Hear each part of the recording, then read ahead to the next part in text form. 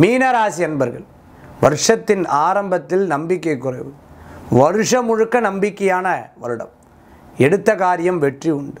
கணவன் மனைவிக்குள் ஒற்றுமை உண்டு. லாபங்கள் தேடி வரும்.